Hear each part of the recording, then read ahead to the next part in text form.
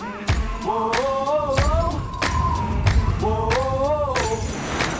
wake up in the morning to the clear blue sky. Turn up the music when I hop in the ride.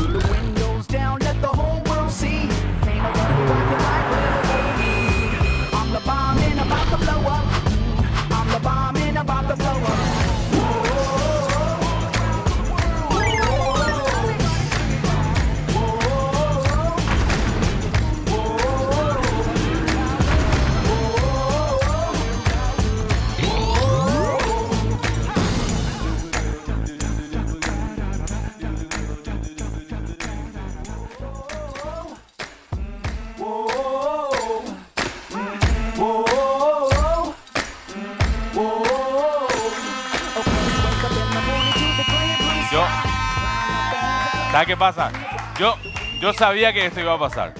Borja dijo que Jaja es la que más grita y Floppy ya se llamó a huelga directamente. Muy buenas noches, bienvenidos a una nueva edición de las últimas ya de Vencer a Aburrir por este 2022. Todos estamos así, ¿verdad? Es como que el inicio del Mundial implica también el final de todas las demás actividades que importan básicamente. Imagínate, no sé, si estaba la albirroja aquí en el Mundial, ¿verdad? Imagínate, pero no, ni eso, ni eso nos alcanza este año. Bueno, esta semana en Silvero arrancamos hablando de que de conejos y de madrigueras, pero no porque seamos aficionados a la zoología, ni mucho menos, sino porque como buenos burros que somos, parece que no entendemos lo, que pasa y ni aprendemos con, con respecto a los conciertos. Y de eso hablamos, del concierto, de lo que fue el show de Bad Bunny en Paraguay, de que no cantó Amor Foda, me voy a seguir quejando, y de que pudo haber pasado cualquier cosa en ese lugar. Muchísima gente vio ese material nuestro en las redes sociales y nos encuentran, tienen que recordarlo siempre como arroba somosgen en todos lados, en YouTube, en Facebook, etc.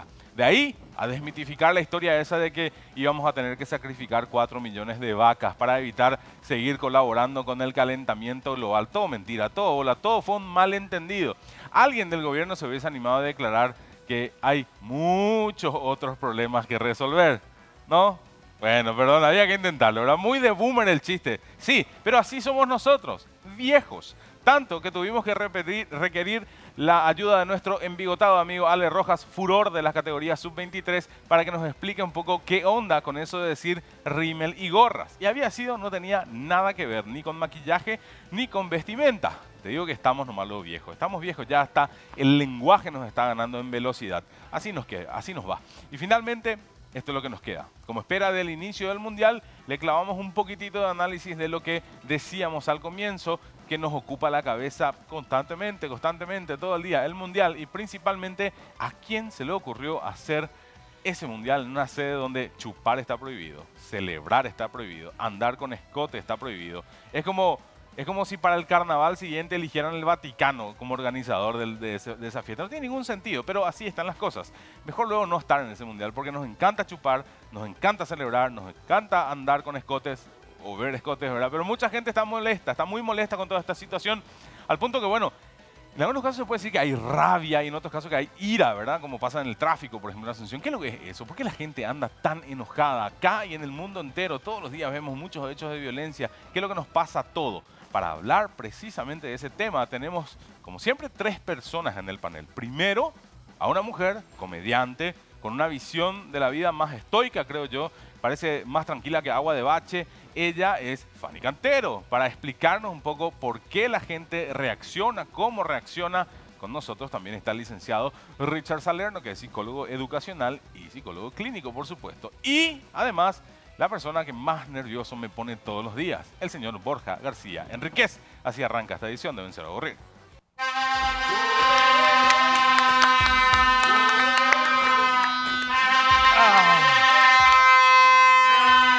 Quiero decir algo para comenzar. Yo con el tema de las vacas dije que Capiatá se iba a oponer, Fanny, y quiero eh, tu respuesta con respecto a lo de matar vacas.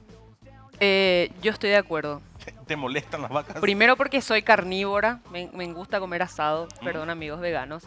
Eh, y, y segundo porque me dan miedo las vacas. ¿Te dan miedo luego? A mí me dan miedo las vacas. Yo tengo vacafobia. Porque, porque es un trauma de la infancia. Acá de- de- No voy a existe la vacafobia. Doctor, por Claro favor, que sí. corregile. Sí, es por un trauma de la infancia. Cuando yo era chica, tenía una prima muy mala onda que cuando nos íbamos al interior, me llevaba así en un campo sin nada, ¿verdad? Me dejaba ahí, corría y gritaba, jaque la vacañano. Vos sabés lo que es bacañano, licenciado. Por supuesto. Ustedes saben lo que es bacañano. Sí. Para los que No. no, saben, ¿No? no. Vaca sí, ñaro, ¿no? Venís de un país donde hacen correr a los toros y después los matan. ¿Cómo no vas a saber lo que es una vaca? Exactamente. Es una vaca muy molesta. Es una vaca en modo Vargas Peña. Es una vaca que te persigue sin insultarte, pero con muchas ganas de Es una, clavarte. una vaca con Se ira. ve como una vaca normal, Vaca ñaña. pero es ñano. Es ñano. No es Pero- ñaña, es Bueno, ñano. no importa. Furiosa. Ok. Es exacto. Esa Es es una la vaca traducción, furiosa. licenciado, es Sí. furiosa. Una Ok. vaca Claro. furiosa. Una, una vaca llena de ira. Pero, Totalmente. pero, Que no es lo mismo que una vaca pero ¿qué, loca. pa- qué va a pasar con esas eh, vacas que van Nada, a morir? se dijo, va- se van a empe- morir de empe- onda nomás No, y... empezó a correr el rumor de que como parte de una especie de acuerdo global para bajar las emisiones de metano, nosotros tenemos que reducir nuestra cantidad de vacas, ¿verdad? De 14 millones a 10 millones. Y la verdad es que no hay ningún documento que diga Hay que hacer más asado entonces, en ese caso. Y debería costar más barato. Sí, para claro, se tendría que abaratar los costos. Sí, o si no, vamos a terminar todos robando vi, ¿verdad? Hay que hacer más puchero abá entonces, caldo abá. Correcto, puede Eh, ser. eh, eh, las churas son baratas. ¿Comiste alguna de esas comidas así bien paraguayas pesadas, tipo caldo abá? ¿O solamente te regís por comidas argentinas como el mbeshú?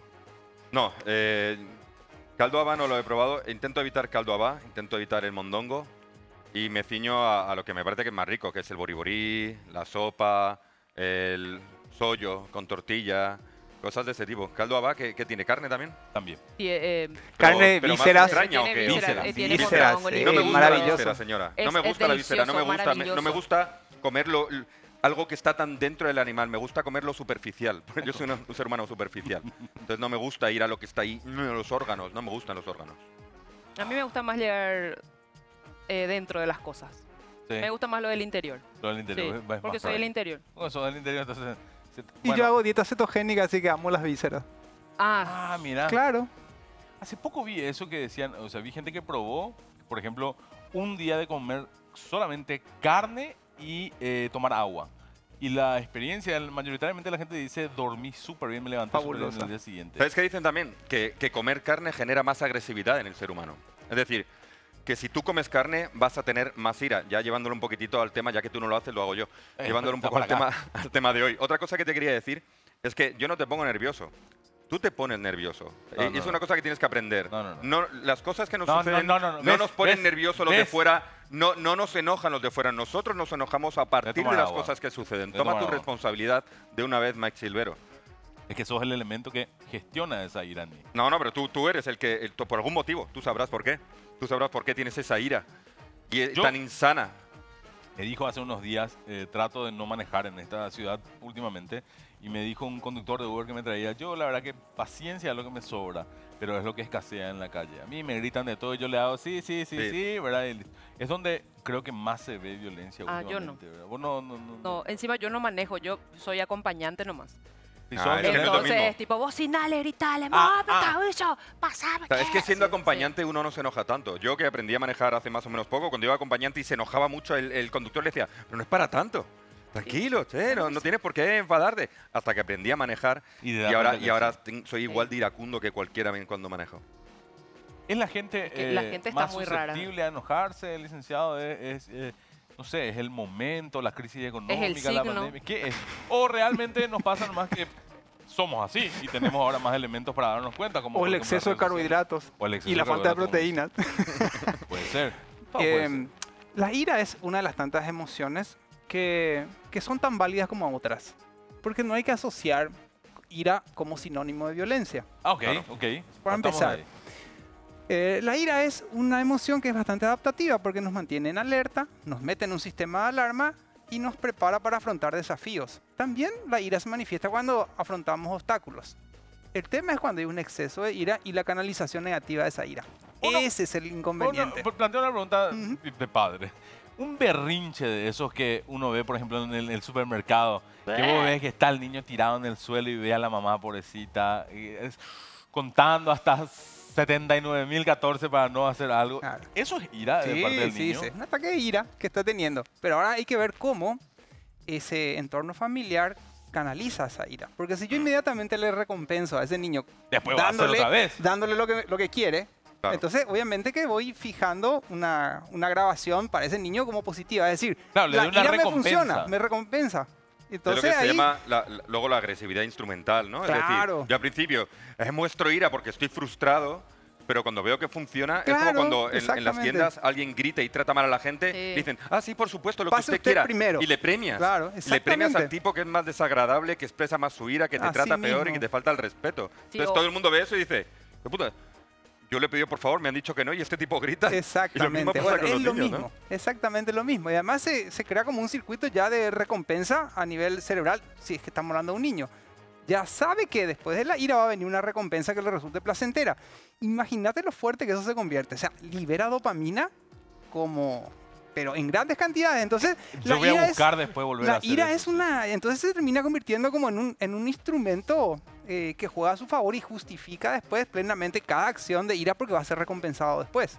Entonces, la, tramitar la ira es fundamental desde que el niño nace, ya que estamos hablando Mm. del ejemplo del niño. Desde que el niño nace, tenemos que ayudarlo a tramitar la ira como una de las tantas emociones que nos van a acompañar a lo largo de la vida.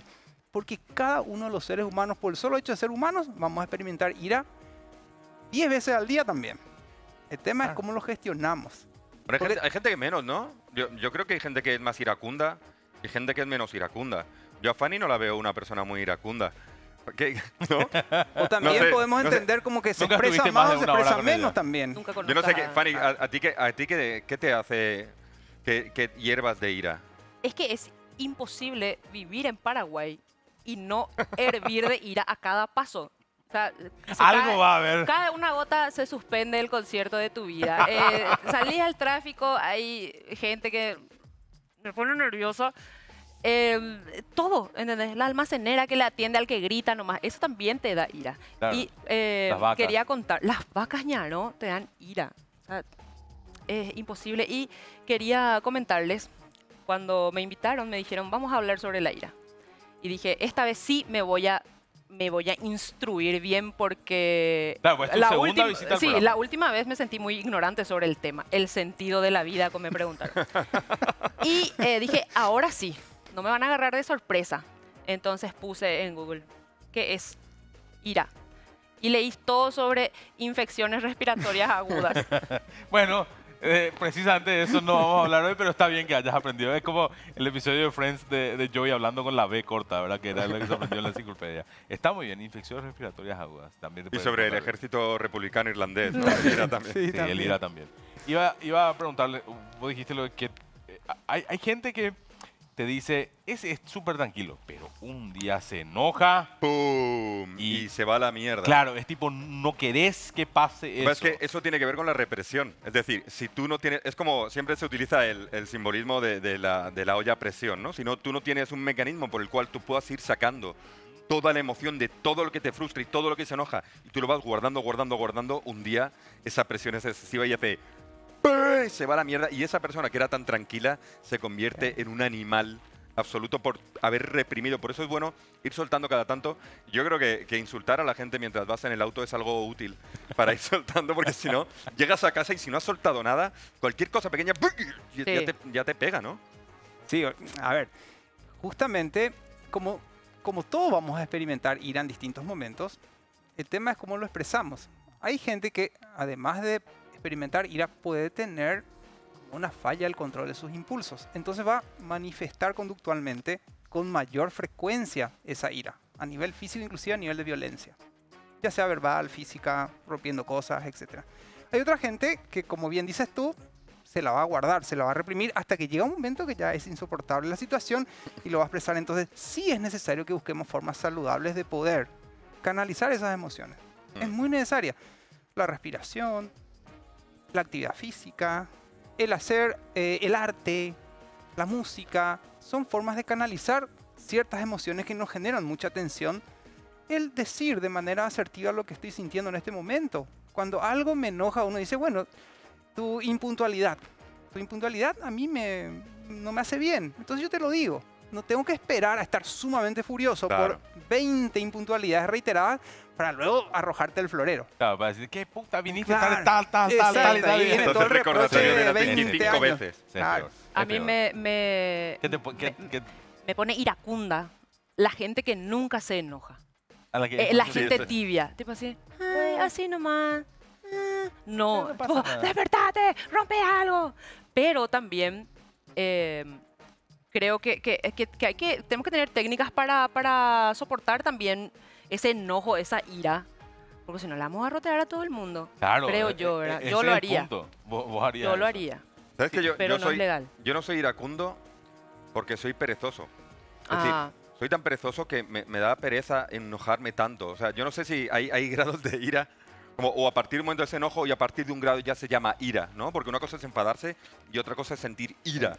Entonces yo llego a un momento, yo, yo me enojo y puedo putear en el auto, ay, decir barbaridades y tal, que no voy a decir porque no estamos en televisión las cosas que digo, pero no sé si es tanto como ira. O sea, para, yo creo que para llegar al término ira tiene que ser ya algo excesivo, o sea, algo tan excesivo que es un jodido pecado capital. O sea, ya no es cualquier cosa, no es, no es Claro. pecado enojarse, no, es pecado la ira. La ira es un pecado. ¡ah! Tipo ser una especie de super saiyajin del enojo ahí y ya hacer algo al respecto, porque, no sé, yo... Yo es que soy una persona tibia, lo siento. soy una persona tibia que no... Ca- solo- solo- cuan- no, ¿Sabes a cuándo me me- enojo? A medida que hablabas, Sí, Fanny se sí. enojaba. Sí. Me enojo a veces cuando estoy arriba en, en técnica, cuando estoy en el control y algo de repente no entra bien, como ¡Ah, la puta! ¡No acabando tal! Pero luego se me pare, perdona chicos, ya está, pero es un ¡pa! Es un.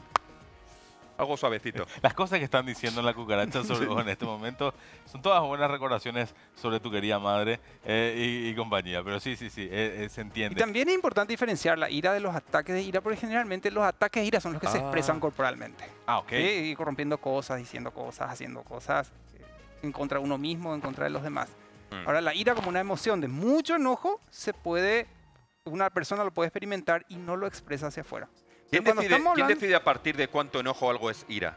de ¿Cómo- mucho cómo- enojo. ¿Cómo se define? ¿Cómo se define eso? Una es, nariz que rota. es como es, es como un síntoma, es decir, la persona experimenta mucho enojo, entonces podemos hablar de ira. Mm. Pero no tenemos todavía, a menos que midamos el, irómetro. cor- Pero no hay- el- a, me- a menos que midemos, midamos el, cor- el nivel de cortisol en sangre, el nivel de adrenalina o sea, no, no es algo, no es algo conductual que dices, en cuanto te tira un vaso en la cara, es ira. Ese ya es un Mientras ataque. tanto es ese, ya, ese ya es un ataque de ira. Así, cuando ya empieza la persona a expresarse de Si esa solo te manera. derrama es- el agua, sí, es enojo. enojo. Si te tira el vaso, es ira. ya es Me parece que enojo es la más ira. Cuando aplasta tu cara contra un vidrio, es ira. Ahí es ira. Claro. Cuando hablar. terminas cinco horas en el hospital, No, puede pasar. Está, eh, eh, yo siento que, que es una sociedad violenta. No sé si. Paraguay es una iracunda, sociedad violenta, ¿estamos de acuerdo? Pero yo siento que, o sea, a ver, los números, por ejemplo, de, de acciones violentas eh, registrados, denunciados, principalmente contra las mujeres, son muy altos en comparación a la región. Eso pasa y Sí, se puede, no creo que se pueda discutir, ¿verdad? Eh, pero después sí hay otros momentos donde vos decís, a mí, por ejemplo, me encanta ir a la cancha. Me gusta ir a alentar a mi equipo. Esa es, otro, es otra manera maravillosa de expresar ira y de desahogar toda la frustración del Y- día. y yo es- a eso mismo quería ir, ¿verdad? Porque, por ejemplo, yo veo en, en ciertos momentos en la cancha y vos decís, este tipo la viene pasando mal. O sea, eso que le está gritando a alguien, me parece que de fondo tiene mucho más, ¿verdad? Pero ahí, por ejemplo, yo quisiera empezar a, a decirle a toda la gente que canalicen su ira hacia el equipo contrario, hacia el referee, nunca hacia el jugador de tu propio equipo. Me parece una ridiculez esa. ¿Sabes qué pasó una vez? Cuando yo, cuando yo iba al Bernabéu, yo era socio del Madrid, yo al Bernabéu, me te- tenía siempre el mismo tipo de trapo. Eres eres socio, tienes tu asiento. Vale recordar que este año Borja volvió al Bernabéu y el Real Madrid perdió con el Barcelona. Ok, ya está, Ya, listo. listo. Ah. Y siempre tenía el mismo tipo detrás. Y era un tipo que estaba loquísimo. Y en cada partido yo tenía que aguantar al tipo desde que empezaban a calentar. Ya ni siquiera había empezado el partido, ya estaban calentando, salían los árbitros a calentar. Y empezaba el tipo, ¡Hijo de puta, hijo de puta, hijo de puta, hijo de puta! ¡Hijo de puta! Miraba para atrás y el tipo estaba con la vena puesta en la cara y... ¡Ah, ah! Y, todo, y un partido tras otro, tras otro. Y además cuando gritaba escupía y cabía... Ah. Todo me caía ahí. Hasta que un día ya me harté y le- le- me di la vuelta y le dije, ya está bien, tío. O sea, no puedes estar gritando tanto, me estás escupiendo todo. Cálmate un poco, muchacho. Bueno, muchacho era mayor que yo. Y sabes qué? que el tipo se cayó. Y no dijo nada más en todo el partido. Y yo le miraba y el tipo estaba como... Lo estaba pasando mal, me dio pena y le dije, grita, grita otra vez. grita otra vez porque me- es peor. Creo que te vas a morir y voy a tener yo la culpa, tío. Quizás de niño la madre le recompensaba cada vez que se enojaba, entonces No lo sé, no lo sé, pero era, era O le Ah, era muy castigaba llevándole a la O, cancha. o le llevaba a la cancha. ¿Qué es lo que le enoja más al, paraguayo? ¿Cuál- ¿Qué, qué es lo que nos enoja más? Sí, ¿qué es lo que le genera más ira a los paraguayos? en Creo que los, eh, los paraguayos... Los españoles, eh, ¿verdad? No, perdón. Sí, todo es culpa del mestizaje. Después respondemos, después de la pausa. Hacemos una pausa, venimos enseguida. Conversaciones superficiales sobre temas profundos. La pregunta del señor Borja García Enríquez era ¿qué nos pone nerviosos los paraguayos, verdad? Sí, ¿qué, qué, qué es lo que hace que los paraguayos se enojen más? Aparte de la albirroja. Fanny iba a- Perdón. Y, y sí, y sí. Fanny iba a, a elucubrar alguna hipótesis sobre el mestizaje, de que algo tenemos que ver con que... Sí, probablemente de, de esa mezcla, entonces nos dejan, es- heredamos eso. Todo es Tal vez culpa- éramos todo es muy culpa de los pacíficos. españoles, sí. entonces, ¿o qué? Eh, no sé.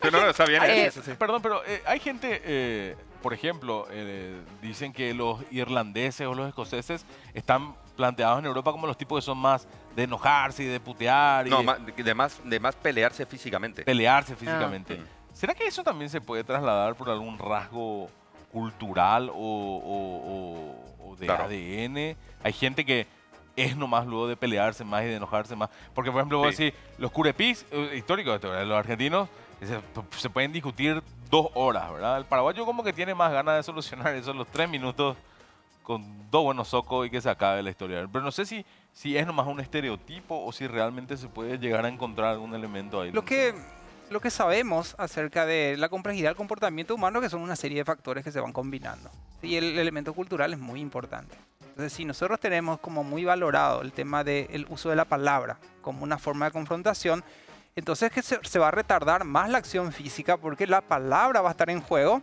y la palabra simboliza hechos que están psicológicamente funcionando, entonces se retarda la expresión corporal y puede ser un- una herramienta muy interesante para, Para evitar, evitar para parar un Ah, o poco sea que el como tema, los ¿verdad? argentinos que insultan y se dicen barbaridades y tal, se pelean menos Exacto. porque toda esa agresividad la, le van liberando con la palabra y al final por eso hay menos violencia. Y hay una cuestión cultural ahí, evidentemente. Tiene que ver con eh, las raíces eh, de la conformación, de la configuración de esos pueblos, de esas sociedades. En otros, sin embargo, se valoriza más la cuestión física, entonces, y en, otros, en otras culturas la expresión excesiva de las emociones no está bien vista.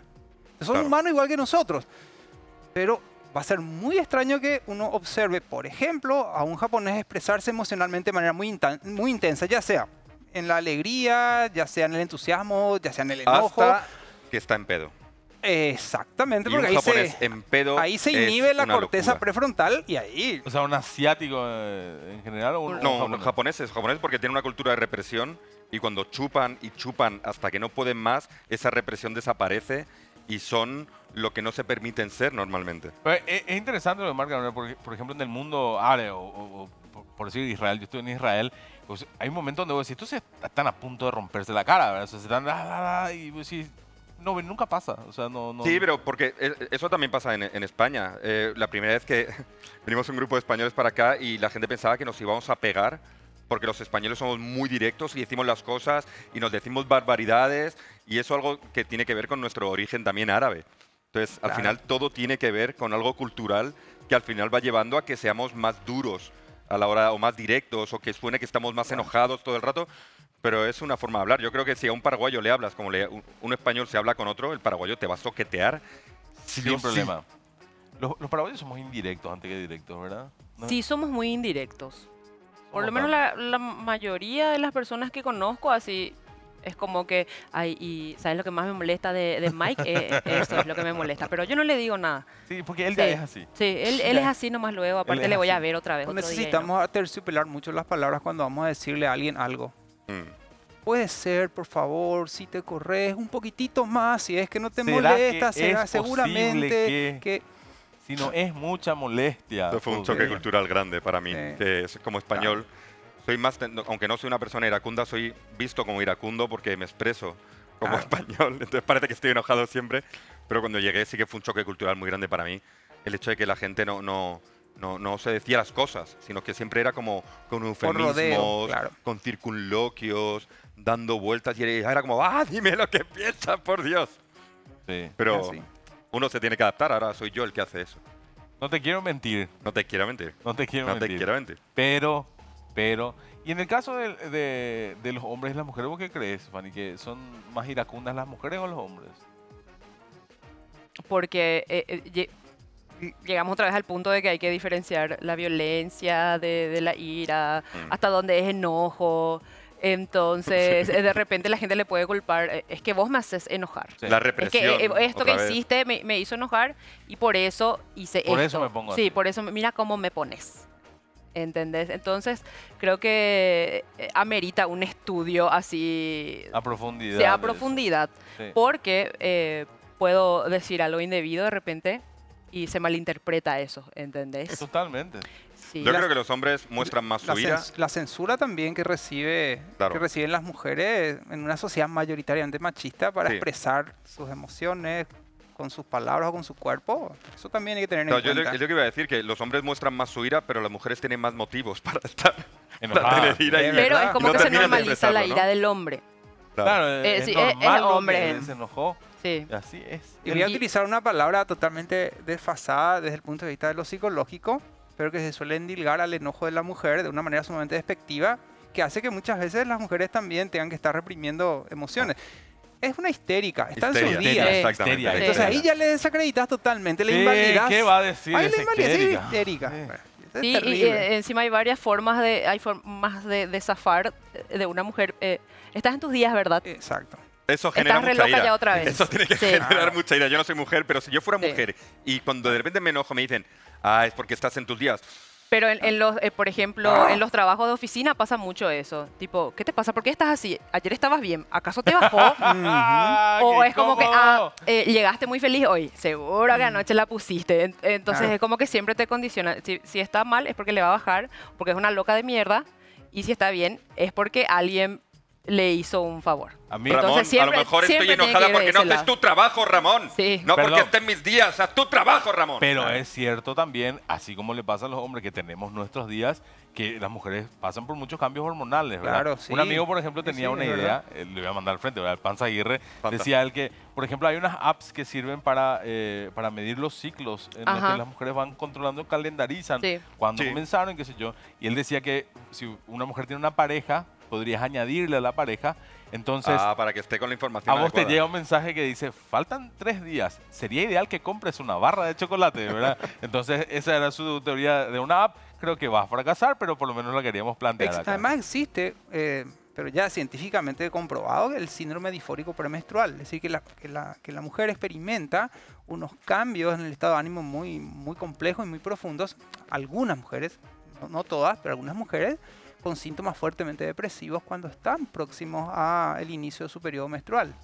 Entonces, mientras más información y educación tengamos con respecto a esto, también podemos colaborar mejor. eh, la mujer en ese caso puede tener una asistencia eh, profesional Mm. que le va a ayudar a aliviar esos síntomas que Claro, duran una serie de días. Porque Yo lo que, no, lo que no creo que colabore es que vos le, digas a la No, mujer, para ah, nada. por eso O estás asumir así". que es por eso. Claro, o asumir Asumir peor, que- ¿verdad? Pero es sí. que también cuando más información tienes, menos pelotudo eres diciéndole esas cosas a las mujeres. Totalmente. Yo, eh, qué sé yo, desde que tengo Yo no me pongo iracunda, de- yo, yo lloro.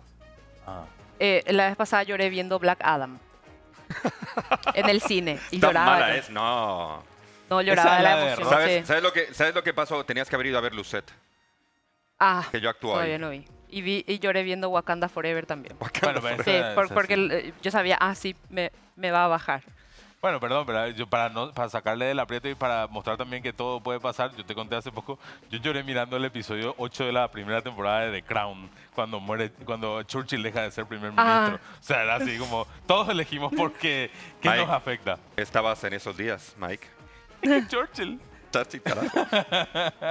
Y yo que, tengo, yo que tengo más de 50 creo que estoy en andropausia, así que Ex- eh, así claro, existe. Eso me genera, no, no, no, no, espera, muy me tonto. genera ira que tenga más de 50 y no lo parezca y parezco yo más viejo que él, eso me genera ira. Bueno, y andar a Tal vez hacer la porque dieta pasas que mucho me, tiempo me enoja, no, me enoja directamente. Ya está, ya estoy iracundo con la vida y conmigo mismo por no haberme cuidado. Me pasó, Mierda. y ya está, ya Más de 50, ¿en serio? 50 a punto de cumplir 51. Me pasó hace unos días en, el, en, el, en un grupo de WhatsApp, grupo de padres, que llega un mensaje y dice, che, chicos, eh, o señores en realidad, dice, eh, este es un trabajo que está haciendo mi sobrina, que está estudiando psicología, eh, o, o psiquiatría, estoy equivocándome quizás, pero está estudiando un formulario para que respondan hombres mayores de 40 con respecto a la andropausia, ¿verdad? Y me pareció muy interesante porque una de las primeras reacciones fue como, ¿qué? ¿Qué es esto, verdad? O sea, a mí no me pasa nada de esto. Y era así como, ¿por qué te enojas antes de responder, verdad? Y la Esta- ira es uno de los la síntomas. Ira es uno de los síntomas. Pero Eso es, eso es como cuando a mí una vez, hace un montón de años ya, en Ciudad del Este, se me acercó un tipo y me ofreció Viagra y era como, ¿qué mierda te crees que eres? Tengo 36 años. Sí, sí, pero ¿Cómo Lo tomo, Viagra? pero me ofende muchísimo. Ira, ira. esa pastillita azul amarga de mierda. Amarga. ¿eh? Yo no sé, no le he probado. Eh, tampoco, me contaron. Es que lo disuelve en agua eso. Homeopatía hace con, con el Viagra. No, pero bueno, en fin, ahí- y, y eso eh, también puede, puede pasar que en Por la supuesto, andropausia se claro. generen más.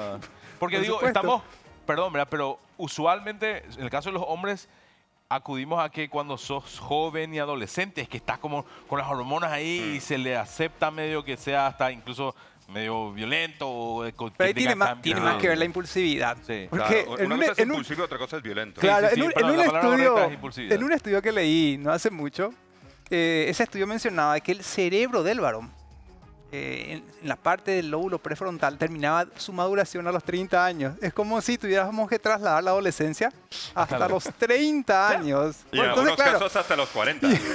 En algunos y en algunos los casos 40. hasta los 50, en fin. Entonces, claro, esa falla de control de los impulsos, esa dificultad para, para poder eh, eh, planificar, controlarse, organizarse, sí, se ve mucho en los varones. Y bueno, y tiene mucho que ver justamente muchas reacciones que tenemos a cierta edad, inclusive después de los 18, con una cuestión biológica. También, también como una cuestión biológica. La testosterona también tiene que ver con la La agresividad y con la testosterona ira. tiene que ver, pero a, a ver, ahí ya estaríamos hablando más en función de la utilización de anabolizantes de esteroides que una secreción normal de testosterona. Eh, la utilización de esteroides sí puede producir un aumento de la agresividad, porque estamos hablando de que hay un 300%, 500% más de testosterona sintética que está entrando en el cuerpo. Te convierte en un rugbyer. Claro.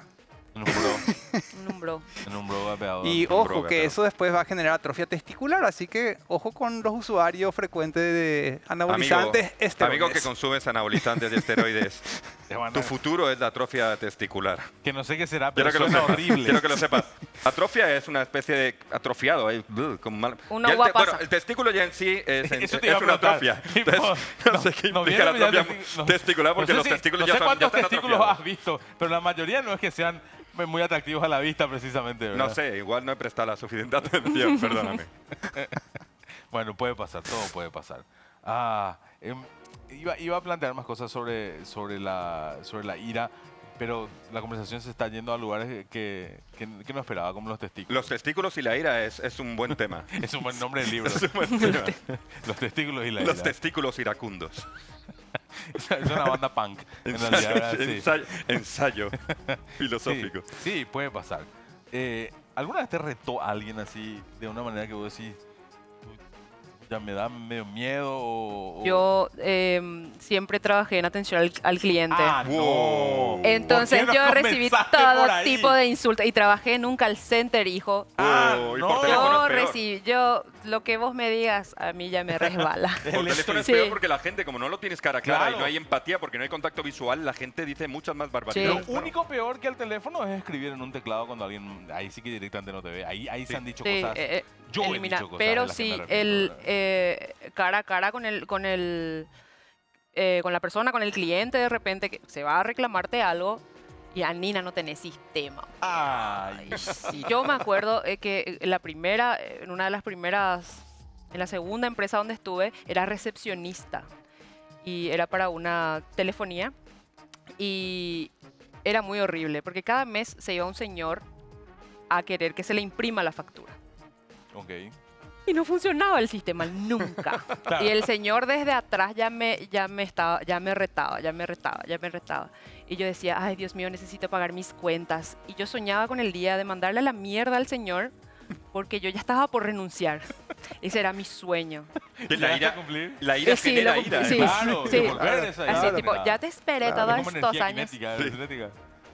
Y era como, tipo, A mí no me vas a hablar así. ¿Te parece que yo hago las reglas acá?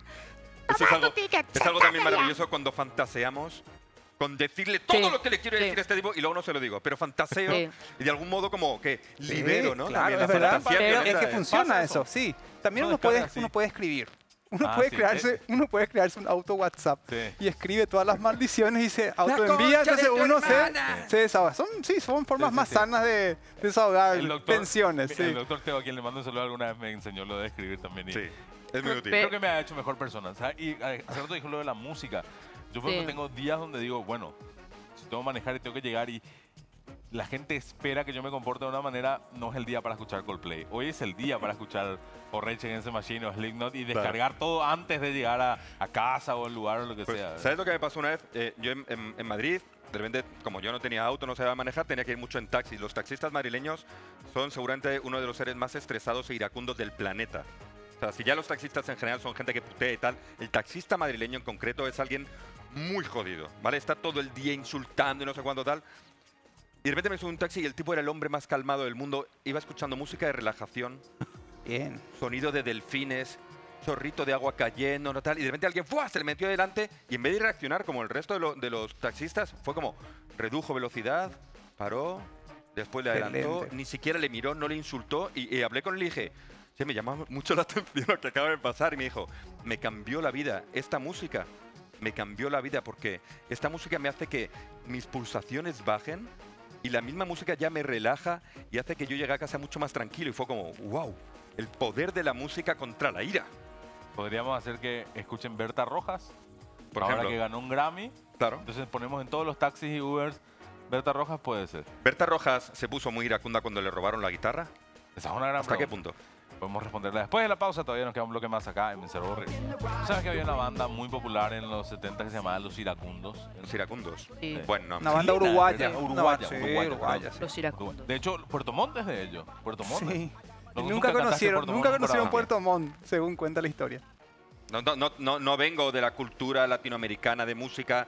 Vine aquí con 38 años. Pero la Mike. cultura eh, coreana del karaoke tampoco. No soy de karaoke tampoco. ¿No? No. Eso de karaoke, Fanny. Sí. Me, me gusta, me gusta.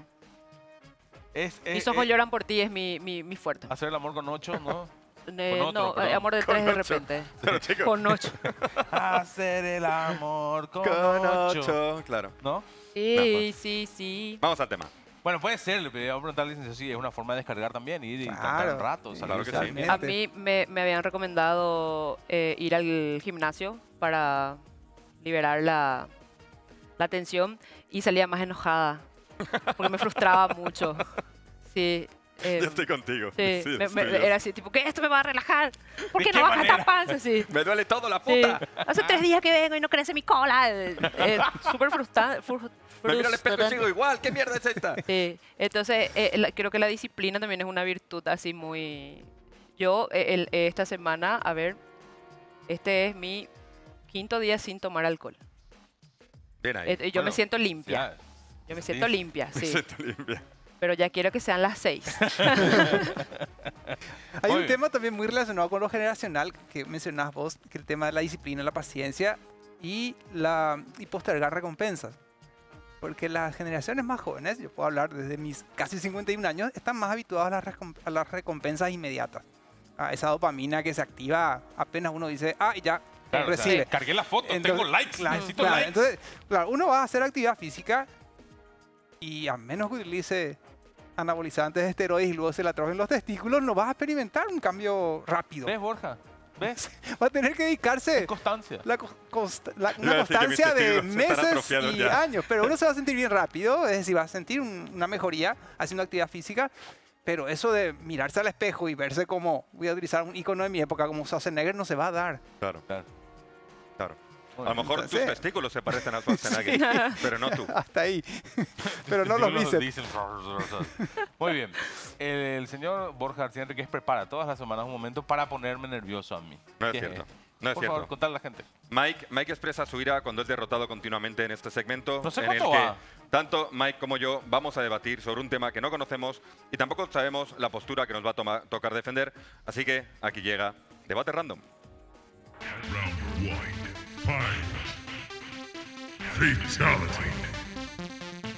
Muy bien, a Fanny Cantero le toca elegir el tema que vamos a discutir esta noche, como si fuéramos cualquier diputado de una organización así, sin saber, Espera, ¿qué sin hijo? tener ni idea.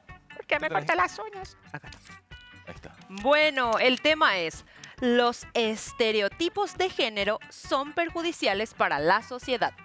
Los Dios mío, eh, nos ponemos, nos ponemos intensos, ¿eh? Los estereotipos de género son perjudiciales para la sociedad. Sí. No me obliguen a leer otra vez porque ya me voy a Richard, trabar. tienes que decir a favor o en contra. Di a favor o en contra, uno de los dos, elige. Eh, El nombre. son perjudiciales, sí. No, a no, no, no, no, di No, a favor a- o a en contra. A favor, Elige, a favor, a independientemente de lo que pienses, di a favor A o di en contra, lo que a tú favor. quieras. Y ahora favor, que sacar. ahora saca un... Eso, es más fácil así, ¿no? Sí. Pero va a ser un problema esto. Sí. Este eh, va a cerrar recortar en WhatsApp y nos va a caer la O sea, dijo a favor, ¿verdad? Dijo a favor. A favor. Borja. Borja está a favor de que los estereotipos eh, de género son perjudiciales para la sociedad. O sea, que yo creo que son perjudiciales. ¿Por qué? Por supuesto que son perjudiciales. ¿Por qué? Porque básicamente porque te obligan a establecer una conducta o una manera de ser o de ser observado a partir de los demás que no tiene por qué coincidir con, con lo que tú eres, con lo que tú pienses o lo que tú quieres hacer. Y tú estás a favor de los estereotipos, eh, estereotipos de género porque eres un fascista. Y eso lo sabe todo el mundo. Una vez que partimos de eso, ¿por qué son malos los estereotipos? Ajá. Una cosa es el rol y otra cosa es el estereotipo. El estereotipo tiene a ser monolítico, tiene a ser eh, estático, no cambia. Y por eso estoy en contra. Porque los estereotipos no son buenos prácticamente en ningún caso y menos en lo relativo al género. Solo género estamos hablando. ¿Qué? Eh, El género. No puedo darme por vencido de entrada sin tener que. No, di por No. qué, estás, por qué piensas que son buenos los estereotipos de género para la sociedad. Porque. Atrévete, Mike Silvero. Esta es la peor. Es la peor oportunidad, ¿verdad? Sí, es la peor Sí. oportunidad. Porque así dice la Biblia, Borja. es mi respuesta esta noche. Estoy por ayudarte a darte argumentos. Lo voy, a, voy a cambiar. Vamos a cambiar. Es la primera vez que lo hacemos. Vamos a cambiar. ¿Por qué son buenos los estereotipos de género? Porque ordenan y organizan la sociedad. Porque la Biblia lo dice así, Borja. Simplifica todo. La sociedad necesita ser organizada. La ne- sociedad necesita ser estructurada. Por eso los estereotipos de género son buenos. Porque nos ayudan Siento a saber te- dónde tenemos que ubicarnos y dónde no tenemos que ubicarnos. Fascista. Sí, a, a medida que defendemos este punto, se nos cae la barba y se nos queda un bigote, particularmente acá debajo de la nariz, si creemos eso. Más chirulo. Creo que ha sido suficiente, es un tema muy complejo para No, entrar. yo creo que no necesitamos ni que voten. No, Obviamente no, hace sí, una derrota. Hace una en tu derrota caso. Hace tiempo, llevamos empatando muchos sí, días. veníamos empatando mucho. ¿Qué tal la ira? ¿Bien de ira Bien. ante tu derrota? Bien, no, hoy muy tranquilo. Bien, genial. Derrota súper digna. Listo. Derrota súper digna. Nos quedan las noticias que nos quedaron pendientes esta semana para Sen Silvero y seguir compartiendo con nuestros invitados.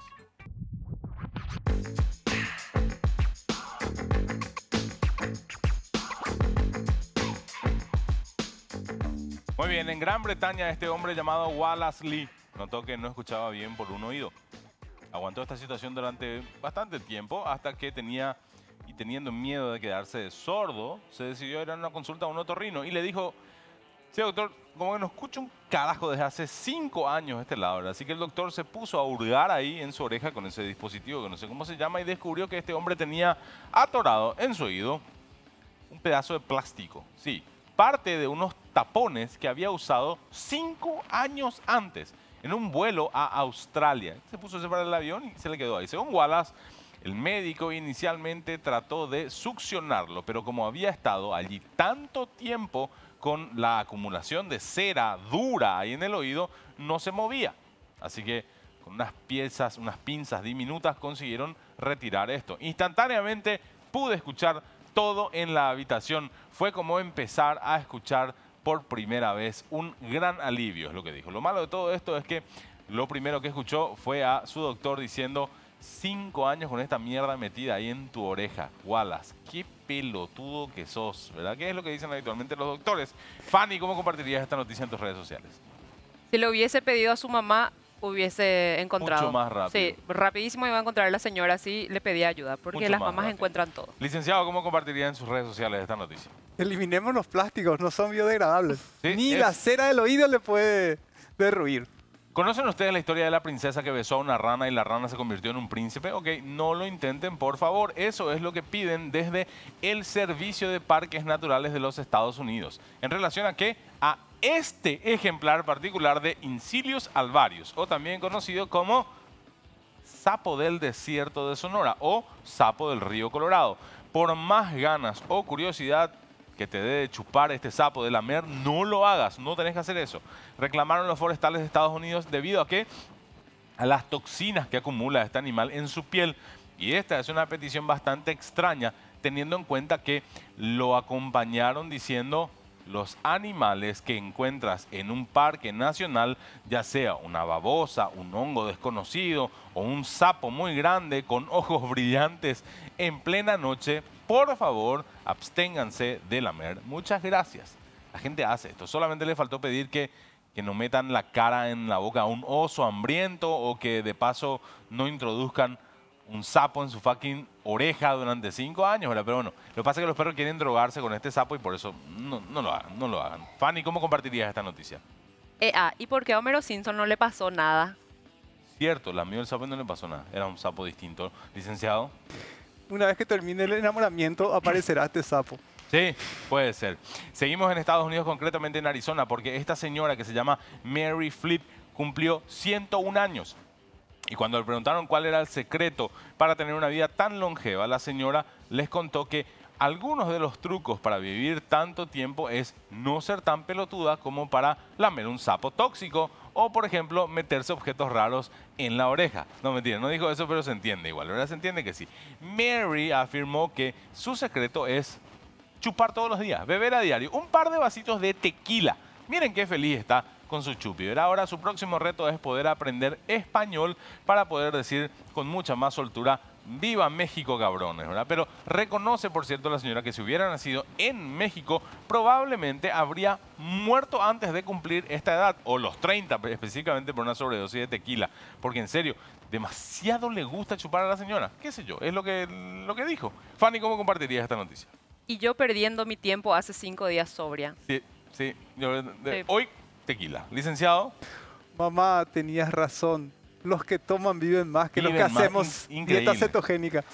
Uno de los típicos estudios que demuestra lo que ya todo el mundo sabía se llevó a cabo en la Universidad de Lund en Suecia. En este estudio se demostró que el atractivo físico de los estudiantes influía a la hora de obtener mejores calificaciones. Ahora entiendo por qué me aplazaban tanto. ¿verdad? Otro estudio demostró que esto sucedía especialmente si los profesores habían bebido previamente, no sé, una botella entera de tequila. No, mentira, esa parte no, pero lo anterior sí, lo anterior estudiaron, pero también lo sabe todo el mundo igual eso. ¿verdad? Uno chupa y después hace cualquier cosa. En realidad, tiene que ver con lo que hacen, lo que los psicólogos ya hace años eh, descubrieron, que se llama efecto halo, por el cual una sola característica de una persona nos lleva a sacar conclusiones generales con respecto a esa persona. Y esto es en el caso de la Universidad de Lund, se vio especialmente eh, durante la pandemia, cuando no había presencia física y los estudiantes más atractivos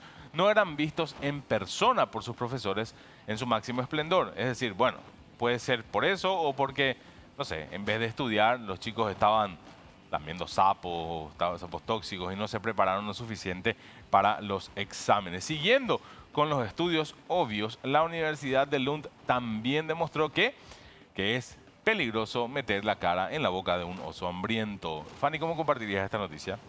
Qué gran mentira. Yo recursé cinco materias en la facultad. No te contaron. Licenciado, ¿cómo compartirías esta noticia? Está muy bueno. Así que mejor hacerse una cirugía antes de empezar la universidad. Buena, buena estrategia, ¿verdad? Arrancar así. Bueno, de nuevo en Estados Unidos, en este caso en el Centro de Rehabilitación de Spring Valley, en la ciudad de... eh, ¿Eso es Springfield? Sí, es Springfield. No en esa, en la que es real, en Springfield. La que está en Missouri. Esta, gracias. Sí, gracias. Bueno, en esta ciudad está este centro médico para mayores. Y es una noticia porque eh, una enfermera llamada Mary Kay Brown amputó el pie de un paciente, de una paciente, sin su permiso y lo expuso en una tienda de taxidermia. ¿Qué les parece? El dueño del pie, de 62 años, había llegado al hospital debido a una caída sufrida en su casa tras haberse quedado sin calefacción y de paso murió, posteriormente murió, ¿verdad? En defensa, en su defensa, la enfermera afirmó que el pie estaba congelado y que no había forma de salvarlo, pero no fue capaz de explicar los motivos que le llevaron a exponerlo en su tienda con un letrero que decía usen sus botas chicos. En serio eso es, en serio. Ahora está acusada de mutilación y de abuso de personas mayores. Durante el juicio, Brown reconoció los hechos y afirmó, ok, metí la pata. En concreto, la metí en una bolsa y me la llevé a mi tienda de taxidermia. Claro, no, eso no es cierto, por supuesto que no, ¿verdad? Pero lo que sí es cierto y lo que sí es verdad es que ahora esta señora afronta una posible pena de más de 40 años de cárcel por lo que hizo. Fanny. De IPS a los Estados Sí, Unidos. Viste, pasa ahí, pasa igual. Licenciado, ese, ese fue fácil. Los varones también tenemos que usar media bombacha. pues, y sí, Claro. es una solución posible. Muy bien, gracias por haber estado ahí. Eh, Fanny, ¿cuándo te ven? ¿Cuándo, cuándo, cuándo tenés show? ¿Qué haces por fin de año? ¿Tomás Ah, estoy, estoy disponible para las empresas que quieran show privado, leemos las cartas, jugamos con el público, les cuento mis problemas. Vayan, soy Va. chismosa, me gusta contar. Llámenme, me pueden seguir. ¿Puedo pasar mis redes? Claro hijo? que sí, para eso Me acá. pueden seguir en Instagram como arroba Fanny Cantero y ahí se enteran de los showcitos y no se olviden que también hay show privado. Muy bien. Licenciado, ¿alguien que quiera consultar cómo lo encuentra en redes para poder seguir hablando sobre Todo este aquel que se encuentre con ansiedad, con estrés, con síntomas eh, de depresión o con estrés de fin de año, por favor, puede acudir a mi consultorio. Acá preguntaron, el doctor también hace show privado, ¿verdad? Una cosa terrible. es una- Bueno, gracias por haber estado acá. Un gusto, doctor. Gracias, gracias por Fanny, la invitación. volver. Nos Muchas reencontramos gracias. la semana que viene haciendo vencer a aburrir. Acá por las pantallas de Gen. Chao.